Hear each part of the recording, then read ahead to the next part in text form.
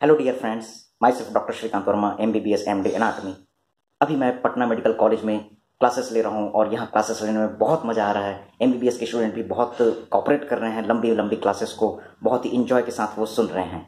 तो यहाँ शायरियों का दौर भी साथ में शुरू हो चुका है। तो इसी कड़ी में एक छोटी सी शायरी और मैं आपके सामने प्रस्तुत करने जा रहा हूँ। और ये शायरियाँ बहुत ही खतरनाक होती है, खूंखार होती हैं, जो हमारे कानों से नाक का खून निकाल देती है, जिसे मेडिकल के लैंग्वेज में हम कहते हैं epistaxis from ear yes epistaxis means bleeding from the nose लेकिन हम बच्चों को हंसाने के लिए यहाँ पर कहते हैं कि इपिस्टेक्सिस जो है वो नोज़ से नहीं, वो कान से हो रहा है। तो ये शायरी इस तरीके से है। दरकत के पैमाने पे चिलमने हुस्न का, फुरकत से यू शर्माना। जी, दरकत के पैमाने पे चिलमने हुस्न का फुरकत से यू शर्माना। पहली लाइन समझ में आई हो तो मुझे भी समझाना।